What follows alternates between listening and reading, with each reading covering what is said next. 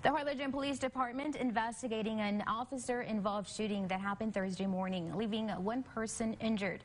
Our Karina Vargas has the latest details. Karina? Good evening, Brenda. Harlingen Police is giving limited details, but what we do know is that they have two key evidence from these two surveillance cameras that captured the suspect breaking into this family doctor's office.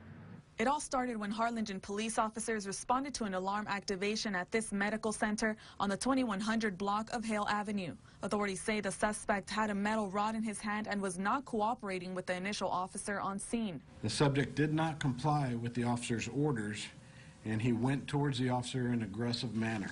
The officer, fearing for his safety, fired multiple times, and the male was struck once in the chest. Police say the suspect did enter the medical center and took items, but it is not clear what was taken. The suspect is facing burglary charges and aggravated assault to an officer.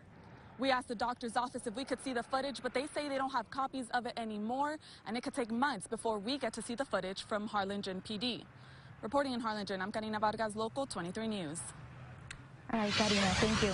Well, Harlingen police say the suspect was transported to the hospital and is in stable condition. The officer involved was not injured. Neither of their names have been released.